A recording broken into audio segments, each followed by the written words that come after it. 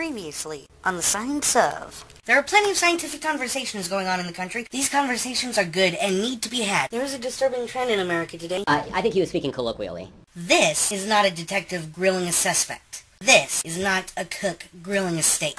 I say the word there, or the word to, or the word your. Context is important here. You cannot simply switch up the spellings of these words arbitrarily. The same thing applies to scientific versus colloquial definitions. It's all about context.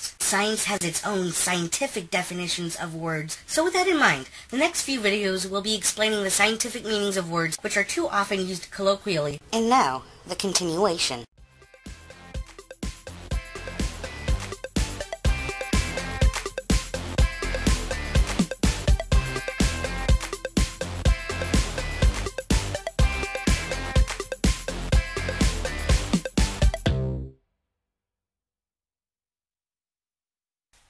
Hello, Internet, and welcome to the Science of. Using sci-fi and the news to educate people on how science actually works here in the real world. What do the following conversations have in common? Organic food is now so popular, demand for chemical free produce has doubled in the past 10 years. It also means organic farming is now our fastest growing agricultural industry. Two presidential candidates, Rand Paul and Chris Christie, raised questions over the wisdom of government mandating vaccines for children. For some, GM food promises to feed the world. For others, it's the devil in disguise. Responding to chemical and biological threats takes teamwork and extensive training. Aside from the obvious, there are two vitally important things they have in common. One, these conversations are rooted in science. And two, one side is using the colloquial definition of the word chemical. Granted, a third common element is that they all share the general goal of government-wide and slash or industry-wide change to improve the health and lives of the general population, yet at the end of the day, their root is still in science. It is important to get the science right in order to get the government and industry changes right. The best way to start this conversation is to have the scientific definition correct. The commonly used definition of the word chemical seems to be the second definition provided by Wiktionary, as in, it is an artificial chemical compound. This definition, of course, has the connotation of being bad for the environment and bad for health. Since this is a slang definition in a science conversation, it is the wrong use of the term. We aren't interrogating a steak, remember? Very much like the word theory, using the colloquial version of chemical is in poor taste and tactless. Since the context is science, we have to use the scientific definition of the word. So what is the scientific definition? To best explain it, I've broken the term down into two digestible parts. First, we have to realize that it is a short version of the phrase chemical substance, and is usually used interchangeably with pure substance. Once we realize this fact, we can work on defining the term. Like my theories video, I've used these three common textbooks to get my definitions from. They all define the term the same way as matter that has distinct properties and a constant composition that does not vary from sample to sample and cannot be separated by physical means. The term physical here is by way of Newtonian physics, so that is without reacting with another substance to make other substances which weren't there before.